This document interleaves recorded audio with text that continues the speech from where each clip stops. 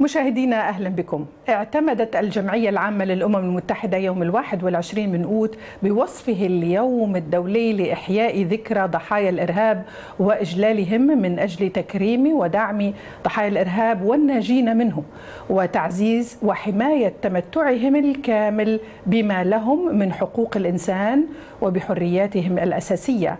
وبني القرار على الجهود القائمة التي تبذلها الجمعية العامة ولجنة حقوق الإنسان ومجلس حقوق الإنسان التي ترمي جميعها إلى تعزيز حقوق ضحايا الإرهاب وحمايتها. وتؤكد الجمعية العامة بإعلان هذا اليوم الدولي على أن تعزيز حقوق الإنسان وسيادة القانون وحمايتها على المستويين المحلي والدولي هي من الضرورات عندما يتصل الأمر بالوقاية من الإرهاب ومكافحته ووفقا لبيان الأمم المتحدة غالبا ما يكافح ضحايا الإرهاب والناجون منه لإسماع أصواتهم ولا يجدون من يلبي احتياجاتهم ويؤيد حقوقهم وغالبا ما يحسون بالنسيان والإهمال بمجرد تلاشي التأثر الفوري. للهجمات الإرهابية الأمر الذي يترتب عليه عواقب وخيمة عليهم. حول هذا الموضوع الهام نبدأ النقاش مع ضيوفنا من تونس أستاذ الطب والأنثروبولوجيا البشرية الأستاذ أحمد دياب ومن بسكرة في الجزائر الكاتب والشاعر الأستاذ علي علوي ومن القدس المحتله المحامي والناشط المقدسي الأستاذ بلال محفوظ وستنضم إلينا أيضا المكلفة بالعلاقات الخارجية لتنسيقية عائلات المختطفين. الأستاذة فريدة أغليسي أهلا وسهلا بجميع ضيوفنا. وأبدأ معك دكتور أحمد. شكرا لوجودك معنا اليوم من تونس. دكتور أحمد يعني كلمة الإرهاب كلمة فضفاضة اليوم. يعني واليوم نركز حقيقة على الناجين من الإرهاب خاصة في دولنا التي تشهد صراعات سياسية وحروب كذلك. نتحدث عن أهمية الدور الذي يطلع به الضحايا في التصدي للإرهاب ومكافحة التطرف العنيف. كيف لنا بداية أن نفسر مفهوم الإرهاب خاصة أن اليوم كلمة كبيرة وفضفاضة تفضل سيدي. شكرا. تعريف الإرهابي فعلا أصبح فضفاضا لأن كل منا يسقط أمره ومشكلته على هذا المصطلح. نعم. فالدولة نفسها أو بعض الدول التي تحارب دولا أخرى أصبحت تتكلم عن الإرهاب. المشاكل الإرهابية أصبحت كذلك تمس البيئة وهي والبيئة مهددة فعلا ومحيطنا مهدد فعلا ولكن ولكننا أصبحنا نتكلم عن إرهاب بيئي. أي هذه الأوساخ المتراكمة وهذه المشاكل أصبحت ارهابا. الهجرة غير المنظمة أصبحت ارهابا. ارهابا من جهتين. هي إرهاب لمن يتقبل هذه المجموعات بعشرات الآلاف مثل مدينة صفاقس. تتقبل عشرات الآلاف من المواطنين من جنوب الصحراء وهم كذلك مرهب بهم نعم. لأنهم يذهبون حيث لا يدرون. صحيح. يأتون يقدمون إلى تونس دون جوازات سفر ودون تعريف ولا يعلمون من قدم بهم إلى هذا البلد أو البلد الآخر. من مر بهم من, من الجزائر من مررهم من ليبيا إلى غير ذلك. هم لا يعلمون حتى المدينة التي هم بها. والمدينة أصبحت كذلك تتأثر. إذا هناك ينتج عن هذا إرهاب اقتصادي للمدينة.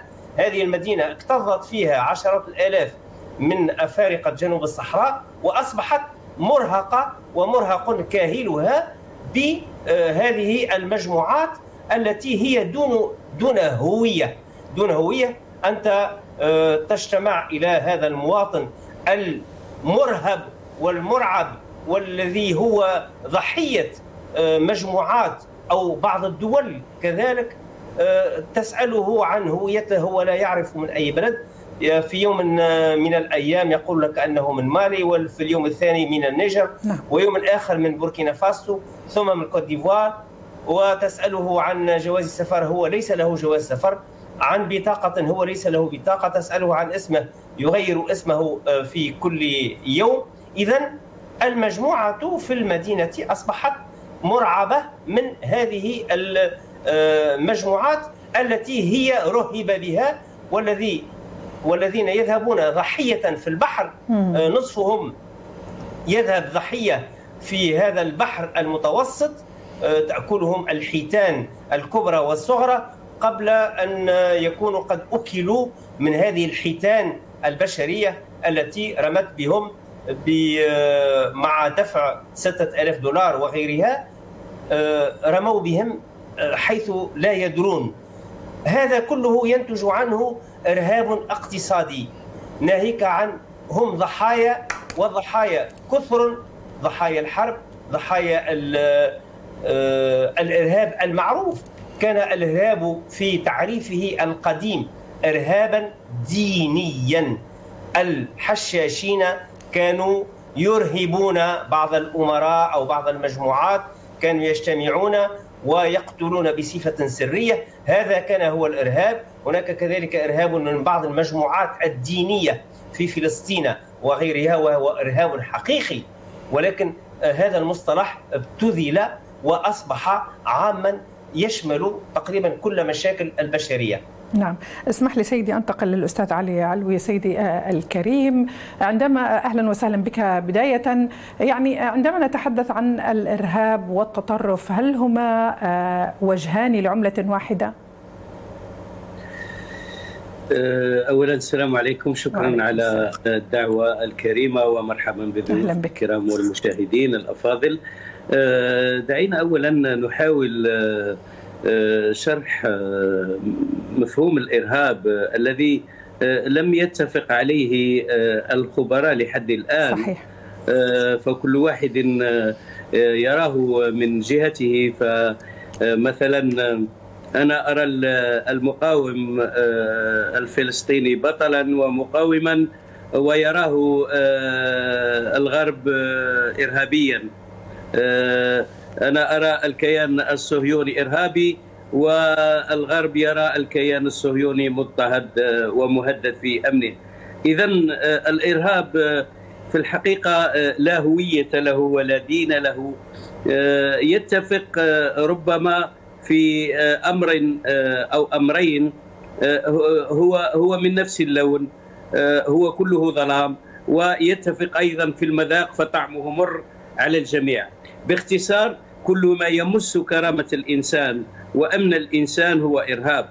والأوجه متعددة ربما ضيف الكريم حصر الإرهاب في بعض في بعض النقاط وركز كثيرا على هجرة أهل الجنوب إلى تونس. فالتفاصيل كثيرة والأمثلة كثيرة فهناك الإرهاب الثقافي الإرهاب السياسي الإرهاب الاجتماعي الإرهاب النفسي. أعطيك مثالا بسيطا.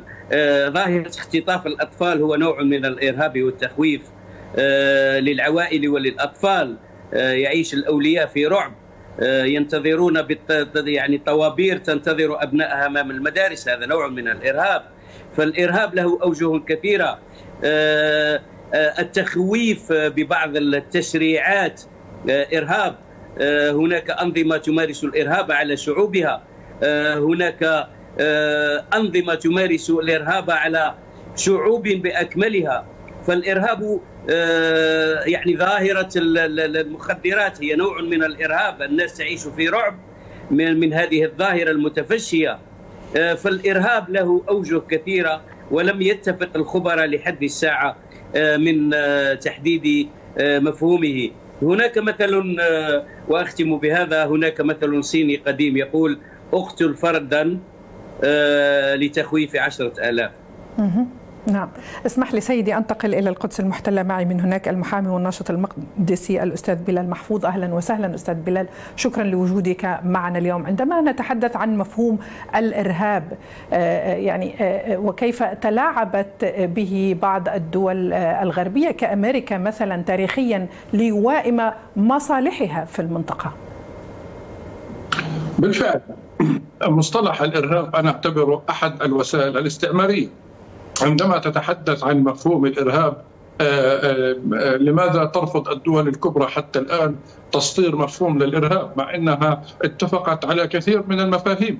لذلك هي تخشى إن سطرت مفهوما معينا للإرهاب أن تقع هي نفسها فيه. انظري إلى فرنسا في إفريقيا.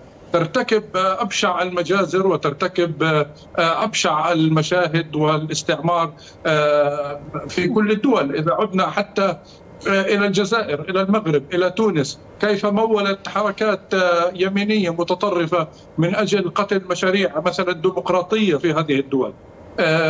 في أيضا إذا رحنا إلى مصر إذا جينا إلى فلسطين دولة الاحتلال مثلا إسرائيل ارتكبت العديد من الجرائم المعرفة أصلا حتى في ضمن قوائم الجرائم الدولية وجرائم ضد الإنسانية ومعترف فيها ومصرح فيها ضمن اتفاقيات جنيف ولاهاي وغيرها من الاتفاقيات.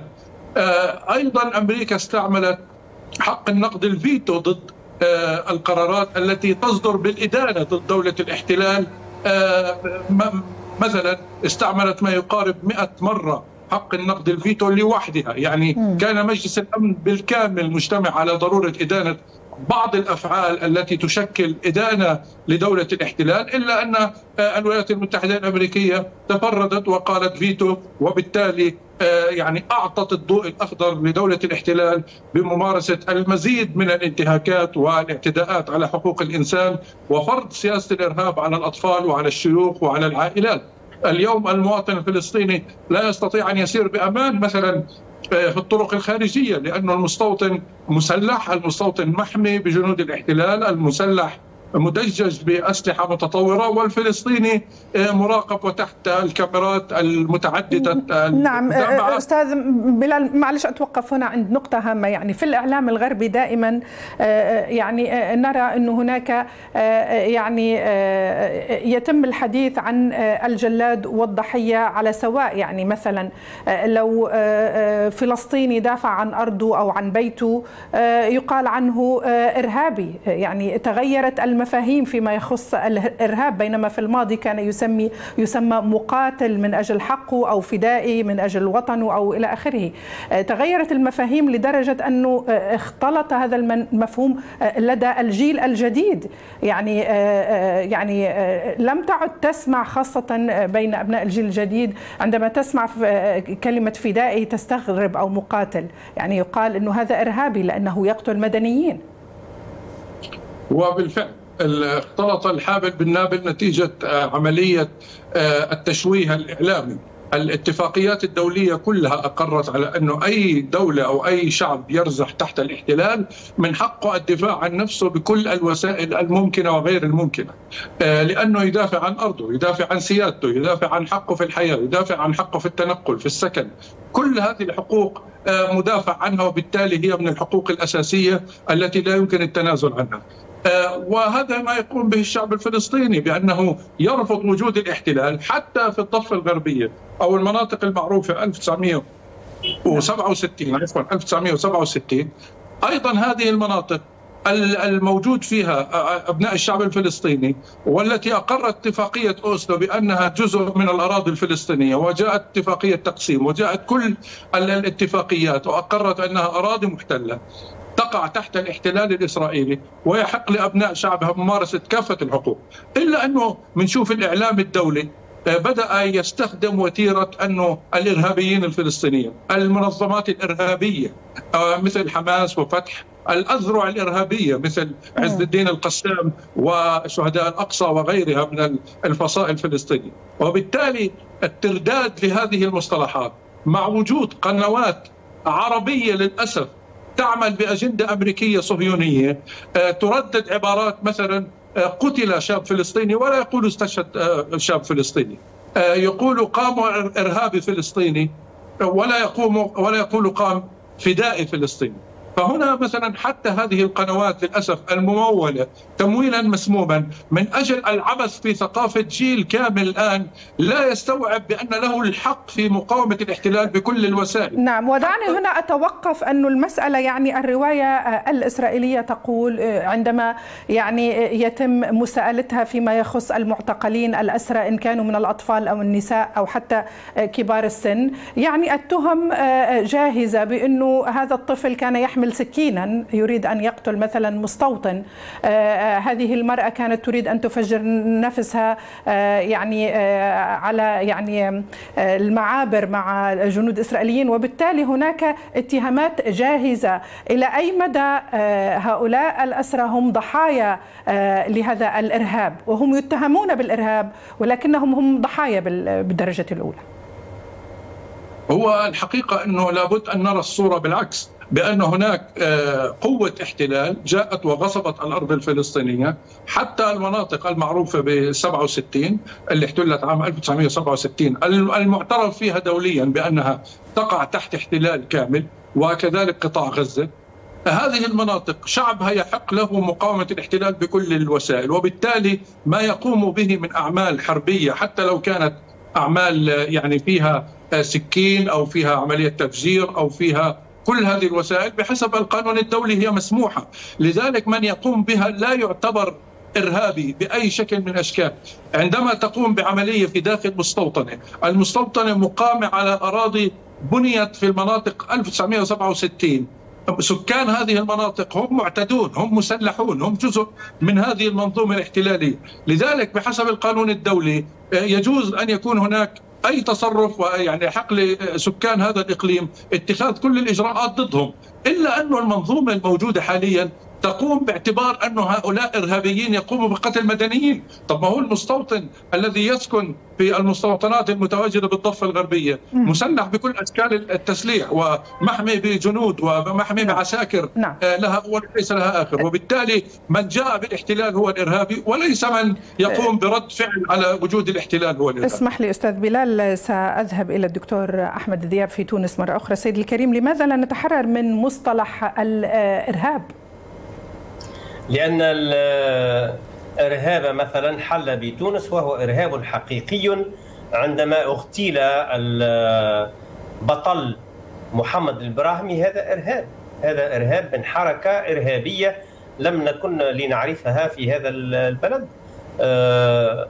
لما اغتيل أقول اغتيل أو استشهد الشكري بالعيد هذا زعيم مدني لم يكن يحمل سلاحا واغتيل من طرف ميليشيات إسلاموية قتلته وإلى اليوم لا نعرف من قتله بحق. نحن نتوهم أو نتوجس أو نتوقع أنهم يحملون فكرا ارهابيا فكرا اسلامويا ارهابيا. ولكن لا نعرف ولكن لا تعرفون من هم من فعل هذه الفعلة حقيقة. يعني الفعل ولذلك لا لا يجب يعني أن نحدد جهة بعينها أليس كذلك؟ طبعا الفعل المباشر حصل وتم بواسطة أشخاص معروفين ولكن من كان وراءهم ربما حركات سياسية متطرفة لم نكن لنعرفها من سنة 56 أي من من الاستقلال إلى سنة 2011 هذه هذه أعمال إرهابية فعلا. قتل بعض الجنود في الشعب هو هي هو عمل إرهابي. قتل بعض أعوان الحرس الوطني الرئاسي في شارع محمد الخامس هو عمل إرهابي. قتل السواح في سوسة وفي متحف باردو هو عمل إرهابي. ما من شك في ذلك. وهناك اليوم أنواع أخرى أبشع من الإرهاب الاقتصادي والسياسي وال والاجتماعي الذي يفرض على هذا البلد أن يكون مغتصبا اقتصاديا ومغتصبا نعم وأيضا دكتور أحمد أيضا عذرا على المقاطعة يعني هناك أيضا تكميم الأفواه ومنع حرية التعبير هو أيضا نوع من الإرهاب. اعتقال نعم اعتقال مثلا النشطاء السياسيين أيضا. الأفواه هو إرهاب فعلا ما من ما من شك إن كان إن وجد وكل أشكال التي الأشكال المنع التي تعصف بالشعب الذي يتوق إلى الحرية والديمقراطية هو كذلك من هذه الأنواع الإرهاب ولكنه إرهاب من نوع آخر إن وجد فهو إرهاب نعم. بالطبع وهناك طبعا بلدان فيها ديكتاتورية أبشع مما يوجد في شمال إفريقيا ولا نتكلم عنها لأنها يعني الإرهاب مرفوض في أي بلد وفي كل البلاد سيدي الكريم اسمح التي نعم. مدفوعه الأجر نعم. طبعا تدافع عن هؤلاء الأمراء وغيرهم. اسمح لي سيدي أذهب إلى الأستاذ علي علوي. أستاذ علي علوي من الضروري أن نتحدث عن مصطلح الارهابي وأثره في العمل الإنساني. هذه مسألة في غاية الأهمية خاصة نتحدث هنا عن دول فيها صراعات سياسية فيها حروب. يعني حتى العاملين في الحقل الإنساني اللي يذهبوا لمساعدة المحتاجين اللي تشردوا من بيوتهم التي دمرت هم أيضا يتعرضون للمساءلة واحيانا يتم اتهامهم بأنهم إرهابيين. لو سمحت لي أستاذة وجدان قبل من قبل أن أجيب على هذا السؤال وذكرت المصطلحات لدي ملاحظة فقط في فضل. تصريح أخي الأستاذ المحامي من فلسطين وأخي الدكتور من تونس علينا أن أن نحذر من بعض المصطلحات لأننا يجب أن نقاوم هذا هذا السم في المصطلحات لكي نربي اجيالا على مصطلحات صحيحة. فأخي المحامي من فلسطين قال دولة الاحتلال. وأعتقد أن هذا المحتل هذه العصابة لا نستطيع أن نسقط عليها كلمة دولة. فمفهوم الدولة أمر آخر. أفضل أن يقول عصابة الاحتلال. عوض دولة الاحتلال لأنهم ليسوا دولة. ثانيا الملاحظة التي أريد أن أوجهها لأخي الأستاذ الدكتور من تونس. قال لا ندري من قتله ولكن قتله اسلامويون كذا. يعني هنا أتذكر ما حاولت أن تفعله أمريكا والغرب في إعطاء صورة محددة لكلمة إرهاب. نعم. وألصقتها في في أذهان اجيال لما نقول إرهاب نتذكر إنسانا ينتمي إلى إلى دين أو يعتنق دين الإسلام صحيح. له لحية طويلة وقميص. نعم. هكذا أرادوا أن يرسخوا هذه الصورة في الأذهان مع أن الإرهاب كما ذكر أخي المحامي من فلسطين مارسته فرنسا وغيرها من الأنظمة المستبدة ولا زالت إلى يومنا هذا فرنسا تقتل الجزائريين من 1832 إلى يومنا هذا من خلال الألغام التي أو حقول الألغام التي زرعتها في صحرائنا الجزائرية. وربما في تونس وفي المغرب أيضا ما زالت تقتل الجزائريين إلى يومنا هذا وهذا الأمر أصبح يرهب الناس ويترك ضحايا كل يوم. اذا المنظمات التي ذكرتها يعني في شقين في الأمر.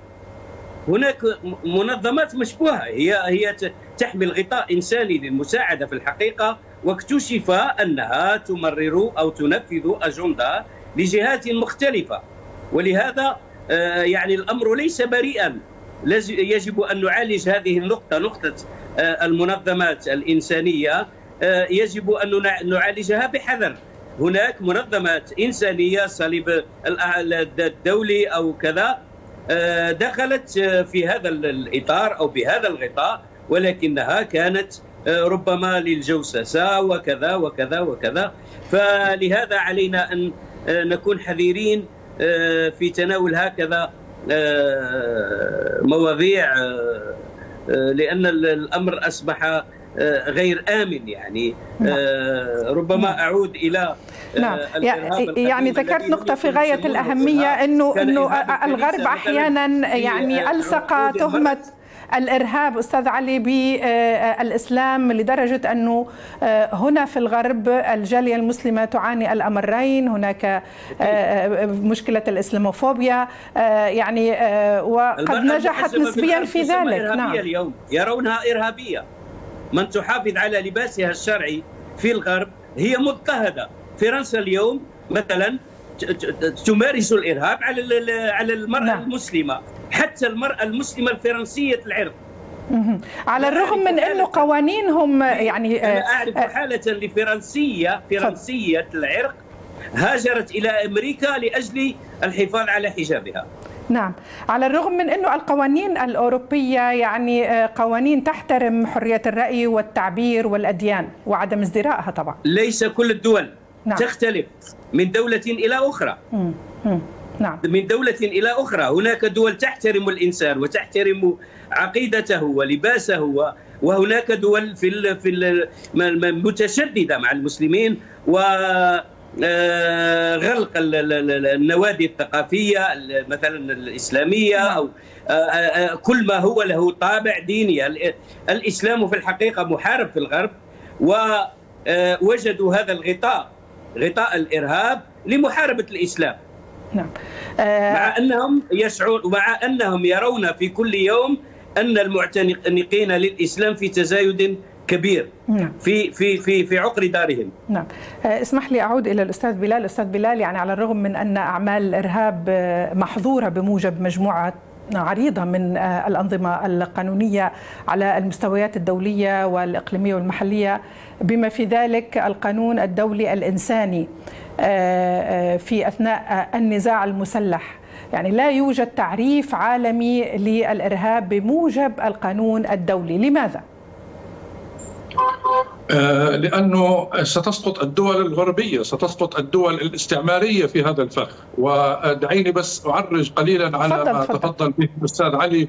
أنا قصدت بدولة الاحتلال فقط بالمفهوم الدولي يعني نعم. ليس اعترافا مني بدوليتهم ولكن بالمفهوم الدولي بمجلس الأمن هي دولة. نعم. المسألة الثانية على مفهوم الإرهاب الإسلامي بالفعل هو قضية الصاق التهم دائما بالإسلاميين هي أسهل شيء. نعم. أنا يعني شفت قبل فترة أحد الضباط الفرنسيين ومجموعة من الجنود خرجوا واعترفوا على الجرائم التي ارتكبوها في الجزائر وقال كنا نلبس الذقون وكنا نلبس الدشاديش واللفات على الرأس وما شابه العمائم حتى بقول إنه في مرة من المرات الذقن المصطنعة هذه اللي بتنحط بمغيطة إيه. آه نسي آه نزلها لتحت مع الحر فنسي يرجعها محلها يعني هو دخلوا يقتلوا الناس وهو ناس يرجعها فشوفي كيف إنه حتى الفرنسيين استعملوا اللباس الإسلامي واستعملوا العدة الإسلامية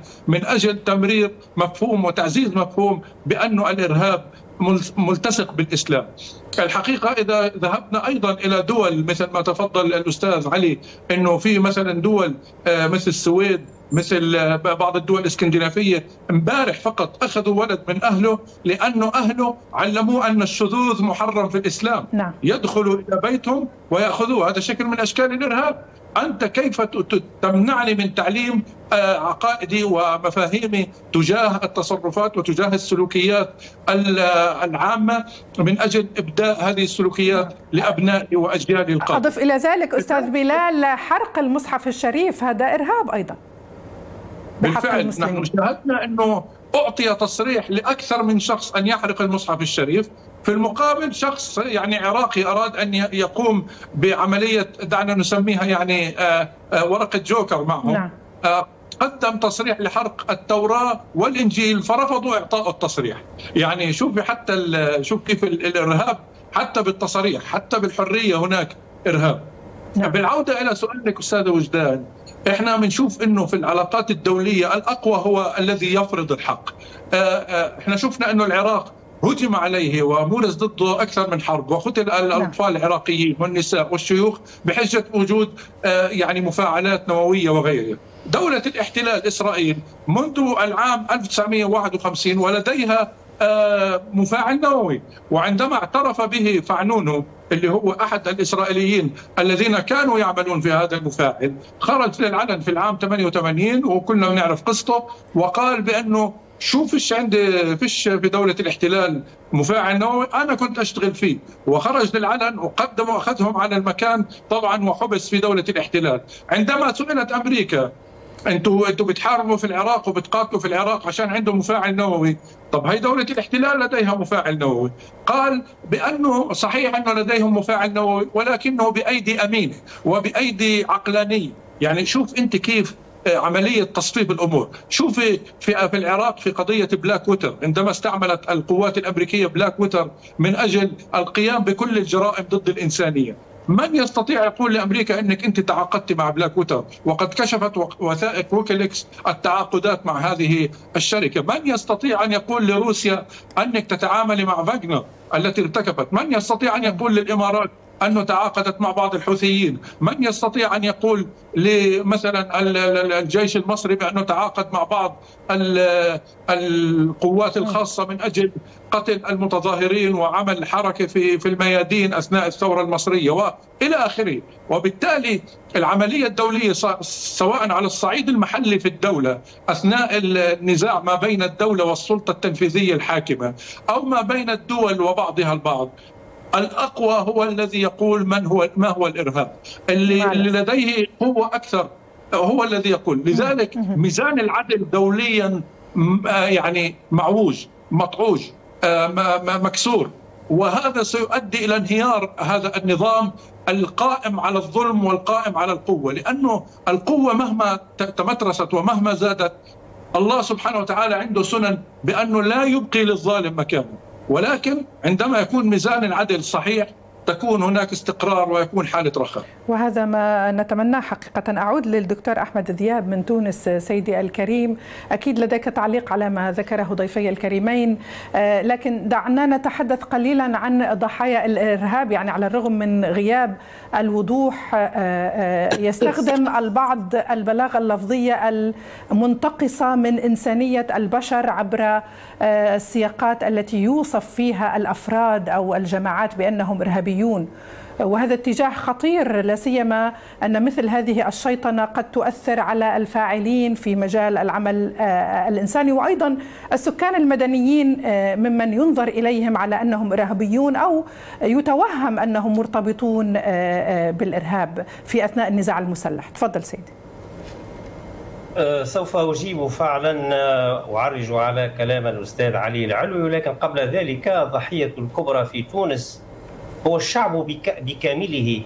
هذا الشعب التونسي الذي كان ينمو تنمو ينمو اقتصاده بنسبة 6 أو 7% أصبح في مؤخرة الشعوب اقتصاديا وتجاريا واجتماعيا نظرا لهذا الحكم الإسلاموي.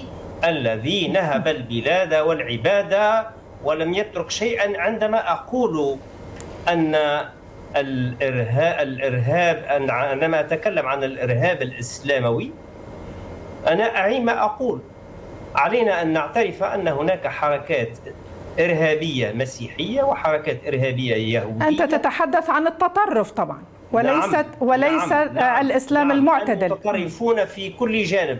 سواء كانوا من المسيحيين أو كانوا من اليهود أو كانوا كذلك من المسلمين أو الذين يدعون إسلاما هم الذين أرعبوا وأرهبوا البلاد طيلة عشر سنوات على الأقل ونهبوا كل شيء وهناك مشاهد لم نكن لنعرفها في هذه البلاد التونسية. أصبحنا نشاهدها نعم. أصبحنا ولربما دكتور أحمد هناك من يرى رأي آخر يعني لا يتفق مع رأيك في هذا الصدد. نعم هناك من يرى وأنا أرى أن الإرهاب هذا كان إرهابا إسلامويا باسم الإسلام باعترافاتهم وباعترافات الأناس الذين حكموا حكموا البلاد طيلة عشر سنوات. اعترافهم اعتراف السياسيين الذين فروا اليوم وهم في فرنسا وفي إنجلترا وفي أستراليا وفي وفي الإمارات وفي قطر. هؤلاء اعترفوا اعترافا قبل الأستاذ علي يعني. يعني هذه هم تهم خطيرة أستاذ أحمد. أستاذ أحمد دياب هذه هذه تهم. خطيرة ماذا عن ال- السلطات الحاكمة اليوم في تونس يعني هناك من يقول إنه هي أيضا تمارس الإرهاب اليوم الترهيب يعني أي واحد أنا- صاحب رأي يعتقل آه، إلى ما هنالك يعني هناك الكثير من القصص الذين أنا لست محاميا ولست قاض ولكني مواطن أرى أن في العامين الأخيرين منذ 25 جويلية أصلحت عديد الأمور ومسك كثير من ال... ممن أرهب البلاد ومن من عنفها ومن من نهبها ومن من استفرد بالاقتصاد ومن من كان شاذا في تصرفه بالنسبة للبلاد. على كل حال هذا رأيك دكتور أحمد دياب؟ يعني هناك من يرى العكس يعني منظمات حقوقية دولية تقول انه من داخل السجون الآن هم أبرياء من التهم الموجهة لهم تهم الفساد وغيره يعني لو كنت أتمنى أنه يكون أحد من الطرف الآخر يتحدث عن هذه النقطة. نعم. وأشكرك جزيل الشكر. من المواطنين التونسيين نعم. في كل استفتاء نجد هذا الاستفتاء ومدونا يا سادة باستفتاء غير هذا نعم. الذي أذكره. جزيل الشكر دكتور أحمد ذياب شكرا جزيلا على هذه المداخلة. أستاذ الطب والأنثروبولوجيا البشرية كنت معنا من تونس دكتور أحمد دياب جزيل. الشكر لك. أعود بعجالة للأستاذ علي علوي. أستاذ علي يعني باعتقادك متى نتحرر من مصطلح الإرهاب؟ ولماذا دائما صاحب الحق الآن أصبح يتهم بالإرهاب؟ يعني أصبح إرهابيا. أعتقد أن الأمر يحتاج إلى مشروع مجتمع. نحن في دولنا العربية أو الإسلامية لا نملك مشروعا مجتمعيا واضحا. على النخب خاصة أن تقوم بتصحيح المفاهيم اولا وتربية النشء على المفاهيم الصحيحة. ما زلنا في مجتمعاتنا اليوم واحد يعني امرأة تنادي بحرية المرأة وامرأة تنادي بالمساواة وامرأة تنادي بالعدل من الأصح؟ فالمشكلة التي نعيشها اليوم نعيش مشكلة مفاهيم وعلينا أن نصلح هذه المفاهيم.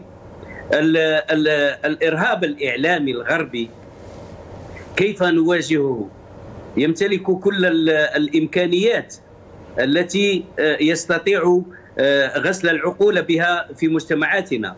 اذا حلنا الوحيد وهو أن نلعب دورنا الحقيقي في المجتمع وأن نربي النشء على المفاهيم الصحيحة وأن ننتقي كلماتنا عندما نقول الإرهاب الإسلاماوي حتى وإن قلنا الإسلاماوي فالمتلقي كمواطن بسيط يلصقه مباشرة بالدين الإسلامي. صحيح. فهناك من من الإرهابيين من لا دين له ولكن أو لا عقيدة له ولكن له أو يتبنى فكر يتبنى فكر شيوعي يتبنى فكر إلحادي يتبنى أي فكر آخر لا علاقة له بالأديان.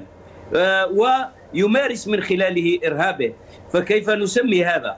إذا تصليح أو تصحيح المفاهيم واختيار الألفاظ مثلا لعقود طويلة كنا نقول الاستعمار الفرنسي. وهذا وهذا خطأ صلحه آم آم الأستاذ نيت بالقاسم رحمه الله عندما قال الاستعمار هو من يعمر ولكن هذا استدمار. اذا اختيار الكلمات وانتقائها وتصحيح المفاهيم مهم جدا, جدا لأن لكل مفهوم صورة في العقل. شكرا جزيلا الأستاذ علي علوي كنت معنا من الجزائر. شكرا على هذه المشاركة أكيد للحديث بقية. قبل أن أعود لك أستاذ بلال دعني أذهب إلى الجزائر مع الأستاذة فريدة أغليسي. أهلا وسهلا سيدتي الكريمة المكلفة بشؤون الخارجية لتنسيقية عائلات المختطفين. يا مرحبا شرفتينا. أهلا وسهلا مساء الخير. تحية لك ولضيوفك الكرام. أهلا وسهلا. نتحدث عن ضحايا الإرهاب اليوم. حسب الأمم المتحدة يجب دعمهم إدماجهم في المجتمع وعدم الإساءة لهم أو التمييز ضدهم. في هذا الصدد أريد أن أسمع منك وأنت قريبة من الضحايا يعني الإرهاب. لو سمحتي أرجو أن أسمع منك المزيد في هذا الشأن. صراحة أود أولا أن أضيف أن بالإضافة لما جاء في تدخل الأستاذين فقضية لصق الإرهاب بما يسمى بالإرهاب الإسلاموي مثل ما ذكر الأخ أن أن هذه الكلمة للمواطن البسيط أو للمستمع البسيط لصيقة بالإسلام. وإحنا قدوتنا النبي الرسول صلى الله عليه وسلم. فالرسول صلى الله عليه وسلم كان في الحروب كان يأمر لا لا تغدروا. ولا تغلوا ولا تقتلوا وليدا أو امرأة أو صحيح. كبيرا ثانيا ولا معتصما بصومعته ولا تقربوا نخلا ولا تقطعوا شجرا يعني ولا تهدموا بناء هذا بالنسبة للجماد وبالنسبة للأشجار. يعني الرسول صلى الله عليه وسلم أنكر الترويع فما بالك يعني بالبشر. فيعني سيدي الكريم ما نصفوش دائما لأنه إحنا هذه الكلمة كلمة الإرهاب كلمة فضفاضة جدا. صحيح. يعني مصطلح ما, ما لم يتفق على يعني يعني وضعه في محله. يعني وضعه في سياقه الحقيقي لأنه إحنا مثلا فدائي فلسطين يسمى إرهابي المدافع عن وطنه المجاهد يعني في سبيل وطنه يسمى إرهابي آه كذلك المدافع عن حقوقه يسمى إرهابي. إحنا اللي في في في آه في وقت قريب عائلات المختطفين الذين اختطفوا من ديارهم ظلما وعدوانا يسمون ارهابا.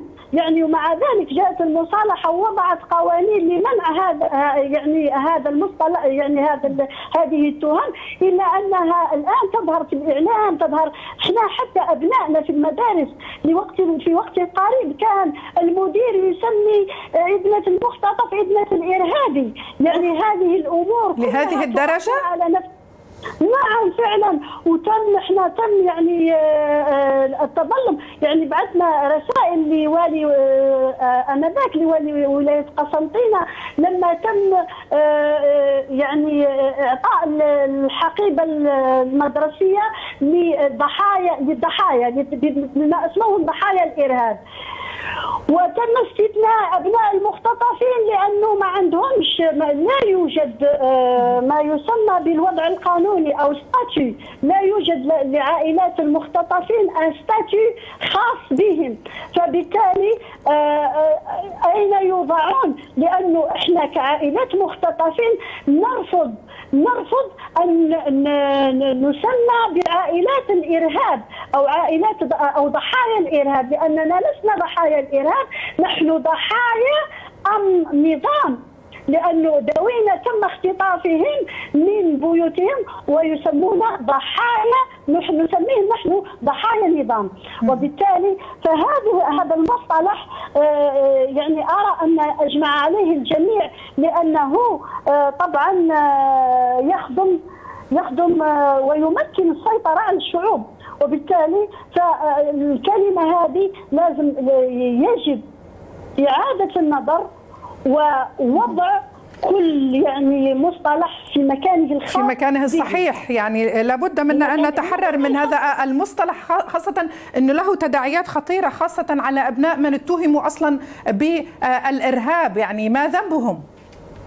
نعم وإحنا نشوف أيضا بالنسبة للغرب هذا المصطلح يخدم الغرب كثيرا لأنه بالنسبة للضحايا أو المجازر اللي راهي تحصل في حق المسلمين مسكوت عنها. لما يكون مثلا يعني تكون جريمة هنا أو هناك يتهم بها هذا الشخص على أنا وراء التنظيم وكذا وكذا وكذا واصبحت وثيقه بداعش وأخواتها. بالتالي يعني يجب أن نفهم نوضح حتى بالنسبة للأمم المتحدة التعريف فضفاض تعريف الإرهاب فضفاض يجب أن يعني يوضع في نعم. أستاذة فريدة معلش أنا أريد أن أتوقف معك. يعني كيف عالجتم قضية يعني اتهام أو التعامل مع أبناء المختطفين بأنهم أبناء إرهابيون؟ والله مع أنه هناك يعني مثل ما ذكرت أنه فيه مصالحة وذكروا أنه عدم النبش في الجراح الماضي وما إلى إلى غير ذلك وفيه فيه تجريم من ينبش في الجراح الماضي إلا أننا أحيانا حتى في وسائل الإعلام. أحيانا تكون فيه أمور مثل هذه حتى بالنسبة عبر وسائل التواصل الاجتماعي يتم اتهامنا بهذا المصطلح لكن ما فيش متابعات. يعني حتى وممكن إذا كان واحد يروح للعدالة ما لم لا أعتقد أنه فيه متابعات لمن يتهم أبناء المختطفين بأبناء بعائلات عوائل الإرهاب. وهذه مشكلة في حد ذاتها. طبعا لذلك فنحن نطالب وضع الكلمة في سياقها وإعطاء كل ذي حق حقه يعني بالنسبة لعائلات العوائل المختطفين إعطاهم ان ستاتي سبيسيال يعني وضع قانوني خاص بهم لأنهم ضحايا فعلا ضحايا النظام باعتراف النظام طبعا باعتراف النظام انه تم اختطافهم من بيوتهم يعني. نعم. جزيل الشكر لك يا أستاذة فريدة غليسي عضو تنسيقية عائلات المختطفين. كنت معنا من الجزائر عودة للأستاذ بلال وننهي معك هذه الحصة. يعني لا توجد قوانين خاصة تحمي ضحايا الإرهاب. لماذا برأيك؟ لأنه حماية يعني ضحايا الإرهاب سيؤدي إلى كشف من قام بالإرهاب ضدهم. إذا عوضنا مثلا ضحايا الإرهاب في العراق سيكون نقول انه الأمريكان هم المجرمين هم هم الإرهاب. وبالتالي هل نستطيع أن نقول الإرهاب الأمريكي مثلا كما يقول الدكتور الإرهاب الإسلامي أو الاسلاموي لأن أمريكا خرج فيها جنود وخرج فيها قادة كبار. قالوا نحن مارسنا الإرهاب نحن مارسنا جرائم حرب نحن قمنا بأعمال يندى لها جبين الإنسانية نحن اغتصبنا. هل نستطيع أن نقول الإرهاب الأمريكي لأنه عملوا سجن أبو غريب؟ وما فعلوه في سجن أبو غريب؟ أو غوانتنامو أو نعم. نعم أستاذ نعم. بلال ننسى ما تقوم به أمريكا في العراق عندما قتلت المسلمين عندما قتلت الناس في السودان وكانت تلقي بالقنابل على الجسور والناس عليها تحتمي بالجسور قامت بإلقاء القنابل على الجسور. هل تستطيع أن تخرج أيها الدكتور الحبيب وتقول لي بانه هناك إرهاب أمريكاوي؟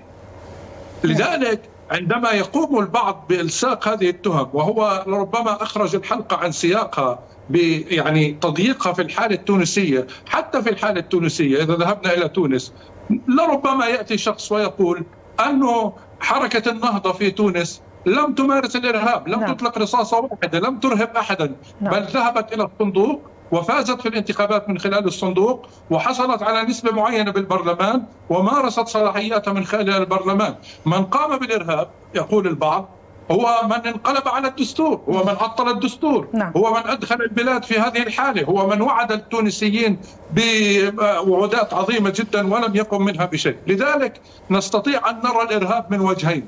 نستطيع أن نرى الإرهاب لا هل يستطيع أن يخرج ويقول الإرهاب مثلا الوطني أو الإرهاب التونسي أو لا أعلم يعني بده إسلاماوي يعني أو الإرهاب الجيشي. مثلا أو الإرهاب العسكري. العسكري. نعم. يعني أستاذ, هو يعني أستاذ بلال دعنا نتح... يعني يبدو أن الوقت داهمنا. كنت أحب أعرف يعني نتحدث عن حماية ضحايا الإرهاب. يعني هناك من يرفع قضايا الآن دوليا حول تعويضات تعطى لمن نجوا من المعارك والحروب والإرهاب في أكثر من بلد. هل هذا يكفي برأيك؟ لا يكفي. الحقيقة حتى هذه القضايا تواجهها إشكالية الإثبات بانه عليك أن تثبت بأن ما تعرضت له هو جريمة إرهاب. طبعا هذا الموضوع من يستطيع إثباته؟ إلا النزر اليسير والقليل الذي تكون حالته اشتهرت اعلاميا أو أنه وثقت حالته من قبل مؤسسة ما أو مجموعة ما أو تواردت فيها الأمور، لذلك تكون من الصعب جدا. وحتى المحاكم الدولية ال- ال- ال- خلينا نسميها التابعة للغرب لا تقوم بإدانة الغرب بالإرهاب. كذلك المحاكم الوطنية التابعة لأنظمة ديكتاتورية لا يمكن أن تخرج وتدين حاكم أو جيش أو آه، فئة معينة من الدولة بأنها مارست الارهاب. وكلها مربوطة بقرارات سياسية مع الأسف الشديد جزيل الشكر لحضرتك أستاذ بلال محفوظ المحامي والناشط المقدسي كنت معنا من القدس المحتلة. مشاهدينا أشكر حسن المتابعة نحبكم بلا حدود إلى اللقاء.